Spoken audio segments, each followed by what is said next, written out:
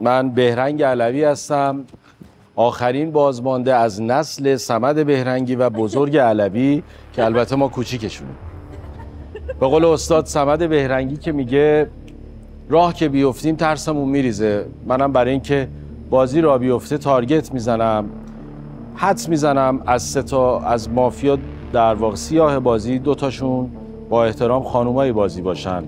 به خانم مینا وحید تارگت می‌زنم.